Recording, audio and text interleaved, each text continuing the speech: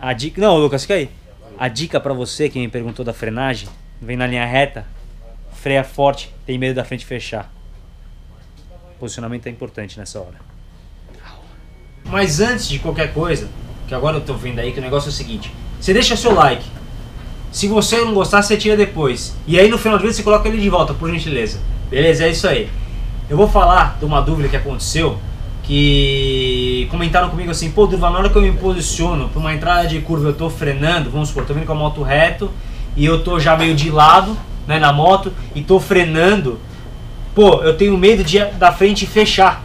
Porque como eu já tô de lado na moto aqui assim, da frente fechar e eu perder a moto. Então assim, o que, que acontece? Primeira coisa, dificilmente você vai perder a frente da moto nessas condições, tá? Para perder uma frente de uma moto, a frenagem tem que ser muito agressiva, curso completo de suspensão sendo solicitado, você vai sentir vibrações no guidão, e aí o que, que acontece? A hora que ela entra, como ela não tem mais suspensão, que ela precisa de uma suspensão para entrar na curva, ela não tem mais, você já usou tudo, você não soltou o freio ainda, ou não deu uma aliviada para ela voltar um pouquinho, ela vai ter que descontar no pneu, e aí ela vai acabar saindo de frente, e geralmente quando a moto sai de frente, o guidão fecha para dentro.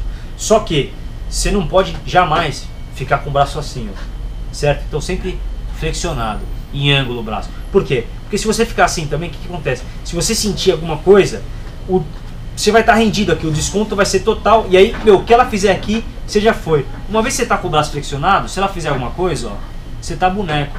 Por quê? Porque você está se segurando na moto com a perna, não com o braço aqui. Aqui, ó. E aí, você consegue deixar que ela faça os movimentos sem atrapalhar.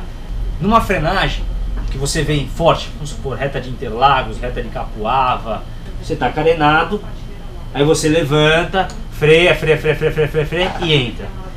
Qual que é o negócio de você fazer? Isso é um vício também que eu tenho, que eu tenho praticado direto também. Principalmente faça isso em menor velocidade para depois você ir ficando já uma coisa que você não precisa pensar para fazer e é seu. Por quê? Porque quando a gente está na estrada, a gente tem um vício de estar tá sempre acoplado aqui na moto e tal. Aí você vai sair, você sai bem lá dentro da curva, sai tudo e faz o pêndulo, né? O que, que acontece? Esse movimento de ficar saindo dando bundada na moto, você está influindo na suspensão e você atrapalha o conjunto. Toda vez que você fica fazendo movimentos aqui bruscos, numa entrada de curva, alguma coisa assim, que você já não se preparou, não se antecipou, você está atrapalhando o funcionamento da suspensão. Então quando você vê no MotoGP, quando você vê os pilotos que elas estão na reta, chega no ponto da frenagem, o que, que o cara faz? O cara puxa o quadril para o lado da curva. Por quê? Porque ele já está no posicionamento correto para entrar na curva, certo? Ele já está colocando o peso para o lado interno, então se caso a moto for para o lado, ela vai para o outro lado. Então o quadril ele fica aqui, ó, as duas pernas fechadas e meia nádega no meio banco. Então, ó, tô aqui posicionado no meio do banco, tô carenado aqui, certo? A hora que tá chegando no ponto, ó, ó o que eu vou fazer. Não é pra ficar olhando minha bunda, é pra você ver como é que ela vai sair, beleza? Tá. Seguinte, ó.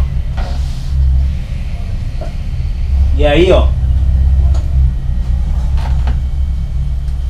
Esse pé também, ele aponta para onde você vai, tá? Porque se você tivesse de pé, o que, que, é mais fácil? Você vai sair pro lado. Você tá com a perna assim, sai assim, ou você fazer isso aqui e sai assim?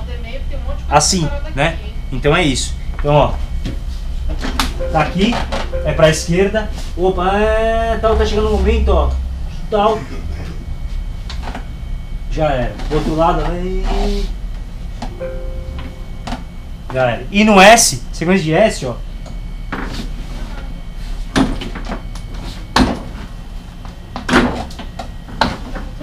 Você curte o, o cavalete? Por quê? Você tá aqui, ó. Você já, então você tá vindo na reta, é o momento da frenagem. Você já se posicionou, você freia, levanta, certo? Você fez o flap aqui, o paraquedas. O que você fez o flap aqui, o paraquedas, a hora que você vai pendular, ó, você já tá pronto. Você só abre a perna e cai pro lado. Entendeu? Eu vou fazer pra direita, por exemplo. Então você tá vindo aqui, a curva é pra direita. Ah, tá chegando no ponto. Você já se posiciona aqui, ó. Levanta o freio e ó. Já era. Entendeu? Então esse quadril é importante, ele já tá posicionado antes da frenagem. Então, pô, você tá vindo aqui, então tá vendo que já vai já vai deslizando ele, sempre com os dois de olho aqui no tanque. Levanta na frenagem e cai pro lado. Você vê que é menos informação que eu tô passando na suspensão da moto. Ela tá vibrando, ela, ela balança bem menos do que eu tá frenando assim e fazer e cair, ó. Ela balança pra caramba. A partir do momento que eu tô aqui, ó, eu já vim pro lado, freiei, ó. A moto tá lisa, ela nem treme. Tá? E claro, se você pegar uma sequência de S rápido, tipo capoada, que pá, pá, pá, pá, pá, não senta de volta na moto. Você saiu pro lado, você saiu aqui, ó. já vai pro outro lado, ó. Já vai pro outro lado, sem apoiar a bunda no banco. Ó, tá vendo? Eu não sentei. Não tem isso aqui, ó. Entendeu? É direto, ó. Um lado pro outro, ó. É isso, filhos. Espero que tenha ajudado. Essa é a dica. Então você fazendo dessa forma, a partir do momento que você já saiu, já está com o braço flexionado, você deixa menos força na dianteira, uma vez que já está acontecendo a frenagem. A chance de você perder a frente é difícil, porque a partir do momento que você está de lado e quando você puxa o pêndulo, você está praticando o contra-esterço. E a hora que você faz isso, você está empurrando o guidão para lá e não para cá. Você não faz assim no contra-esterço, você faz assim, ó. Então automaticamente a frente não vai fechar. Together, filhos, se você gostou, deixa o like, é nós total. Au!